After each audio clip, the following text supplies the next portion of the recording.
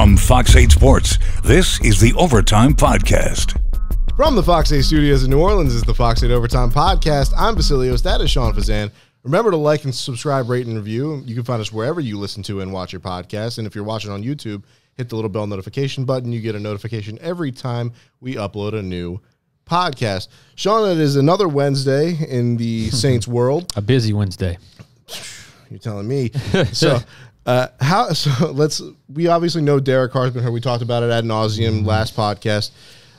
How did he look today? I mean, it's strange that he didn't practice today, but yet he was still made available to the media. What did What did you glean from that Well, the, availability? uh, uh, yeah, it, it- today did not go as I expected to go with what is the current situation with Derek Carr. First and foremost, we get out to practice. He's there. He's in great spirits. Nothing on his shoulder. No, no sling, no cast, no anything to hold the shoulder in place. He's laughing. He's talking with coaches. He's and a little bit we are able to see he's kind of going through the mental reps and kind of eh, you know as Jameis is throwing the ball, he's kind of behind him throwing. He didn't participate at all, but he was very present. I'll just put it that way. He was very present at practice, and Jameis took. I, I, I don't, we only we only allowed to see the first few minutes. Everything I saw looked like Jameis was doing the first team reps. looked like at some point Taysom Hill was uh, mixing in as well. So that was one thing. And then I didn't expect him to talk today because, generally speaking, the Wednesday afternoon press conference is with the starting quarterback. So we can do the math here. It's Wednesday. it was in the afternoon, and then lo and behold, we get the we get the heads up that Derek Carr is talking to the media. Now, it may not seem like seem like a huge deal, and it may not be maybe I'm reading too in, too much into it, but I don't I don't think I'm crazy because you know last year when we were in London, if you recall, Jameis had gotten hurt the week before, and when we got to London, we walk out to practice, Jameis wasn't there, and it was a different kind of injury. And then, but they were still saying you know he could go. Wednesday, Andy Dalton ended up talking to the media. I mean, it was blatantly obvious that Andy Dalton was going to go. Now, Jameis ended up talking to us Friday in the week that week, and you could just tell in his body language he wasn't starting. That wasn't the case with Derek Carr. That was not the case with Derek Carr. First off, like I said before, he talked in the quarterback spot, and I mean, I try to pick up body language. Like I said last year in that situation, it was uh, it was abundantly clear who was starting in that game. I don't have that. I don't. I don't. I don't think it's that obvious. I think Derek Carr is planning on playing, or at least tr- doing all he can to play in this game. Like I said before, Drew Brees missed the game, but it's possible to not miss a game based off the grade, the pain tolerance, the functionality. I, I actually think it's more of a functionality thing as opposed to pain tolerance because these guys are NFL players. They have pain tolerance. He basically went through. It was pretty open. You know, he said didn't like talking about injuries, but he's pretty open about his mindset. He says he's preparing to play. If he can play, he will play. If he physically cannot play, then he won't do it and obviously hurt the team. But he also said he doesn't feel like he would need to practice to play on Sunday, which was interesting to me because you know this is a fairly this is a new team for him. You know, wrapping through things, and he felt like as a ten year veteran, not as a rookie, you know, he could potentially pull that off. And sounds to me, if it's up to him, he's going to give it a go on Sunday. So if you had asked me Monday, I'd say he's out at least a week, if not more. He's out at least a week. I, I think it's Jameis Winston show uh, against Tampa. But now, I think there's a shot. I think there's a shot he plays, and it really boils down to whatever percentage he is 65, 70, 75, 80. We know he's not going to be 100%. Whatever he can give you, can you devise a game plan that helps you beat the Tampa Bay Buccaneers? And does that combination, is that a better outcome than 100% or, or healthy Jameis against the Tampa Bay Buccaneers? I was about to ask you the same thing. That, that That's the question. And remember this Derek Carr is DA's guy. Derek Carr is DA's guy. So my, I guess my point is, yes, you want to protect your investment, but also DA believes in Derek Carr. And if Derek Carr says, look, I want to give it a shot, I, I think there would be a chance that Dennis Allen would oblige. Now, in saying that, I still think I'm, I'm calling it 50 50 because I still think there's some realistic things the organization would need to see before they can fully say, yeah, you can go.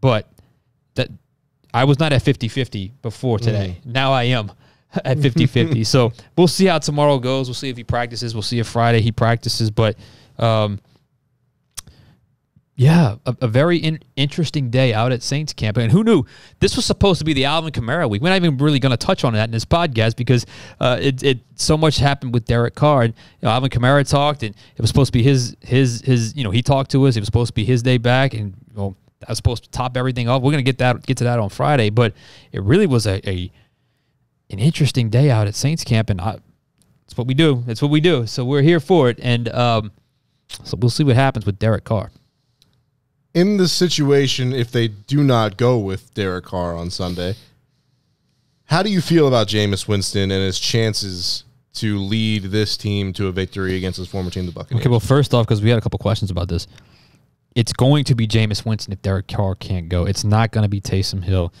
I mean, Dennis Allen was pretty firm and in response to that question today. He said, no, that was not a consideration. Now, I still think there's a blend there between Taysom Hill and, and Jameis Winston with Jameis Winston obviously getting the majority of the quarterback reps. Okay, so can they win against Tampa with Jameis Winston? Yes.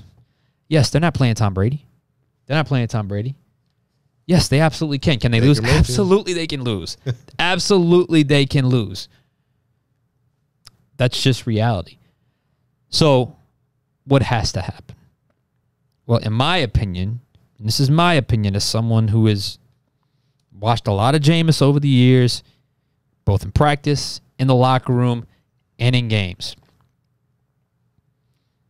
Jameis can't try to do too much. Jameis is at a different spot in his career here in New Orleans, his career in general, but here in New Orleans in particular. It's not 2021 anymore. He's not out to prove he's not the guy he was when he left Tampa, or even last year where he was out to prove he was healthy and can lead the team. Sometimes I just felt like he was trying almost too hard to prove who he is or who he was not.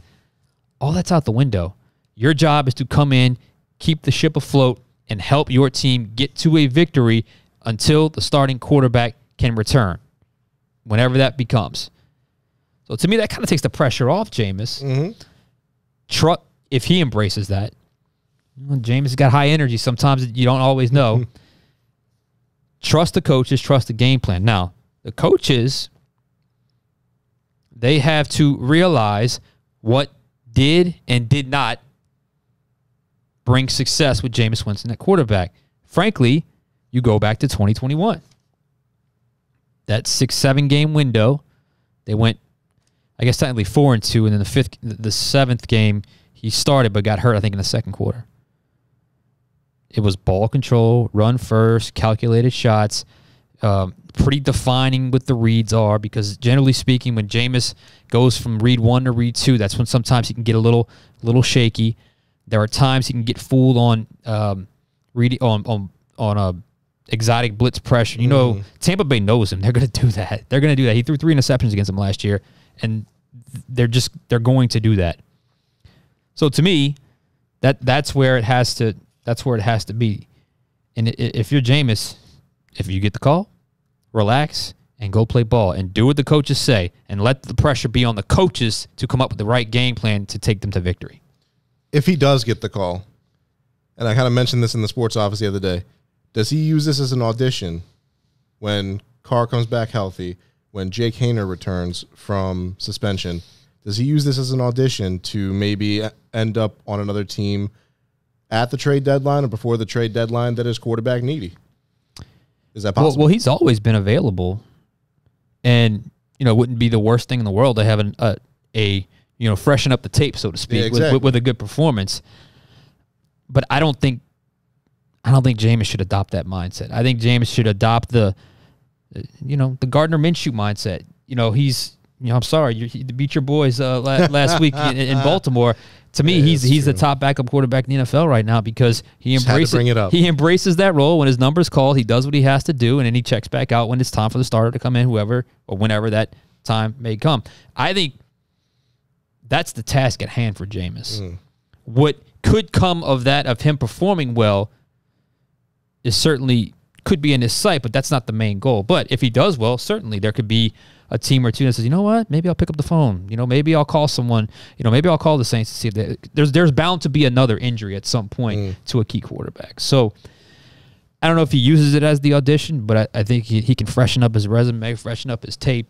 If he just, to me, it's all about mindset with Jameis because some he's the he is such a high energy guy. You sometimes you gotta you gotta channel that a little bit and allow him to just Level out. level out and just execute the game plan. If he does that and the defense is the defense, I think they can beat Tampa Bay with Jameis Winston at quarterback because there are times where it comes together for Jameis and it looks fantastic. Why not this weekend? Why not this weekend against his former team? But then here's the other thing. He's too far removed from the former team thing to hmm. I, I, to me that can't be motivation anymore. Yeah, so- I'm all of I'm all about that. That generally works a year or two out. You're not four years out. I, I just don't I don't see that as motivation for Jameis. I hope that's not because sometimes he can get in trouble doing that. Because uh, like I said before, some that mm. that can allow you to do a little bit too much, which is where Jameis gets in trouble. So there is a path to victory with Jameis. There's a path to victory with Derek Carr. I am so intrigued to see what the rest of this week brings because generally by Wednesday we know. Mm-hmm. Not this week. And stay tuned for Thursday because it's going to be fun. And then by our Friday pod, we're going to talk, touch on Alvin Kamara and what we know about this injury report um, when it comes to quarterback. So it should be a fun couple days ahead because we still have a lot of stuff to figure out. eventful Friday on the docket, but today is Wednesday. You still got a couple more days Mm-hmm. to uh, check that to check this podcast out, and of course all of our content on fox8live.com, Fo- Fox 8 Live, wherever. The Fox 8 Overtime YouTube channel, please. Bingo! Leave Please those like, comments. subscribe, rate, and review. You can find us wherever you listen to and watch your podcasts. Hit the bell notification button. You get notified whenever we upload a new podcast. For Sean Fazende, I'm Vasilios. This is, the, this is the Fox 8 Overtime Podcast. We'll catch you guys next time.